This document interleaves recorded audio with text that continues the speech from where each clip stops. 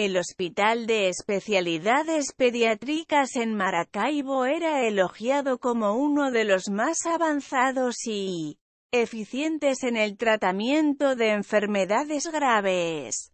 Pero la muerte de 10 niños en 8 días muestra que no ha podido escapar la crítica escasez de insumos y colapso de la infraestructura que afectan a Venezuela.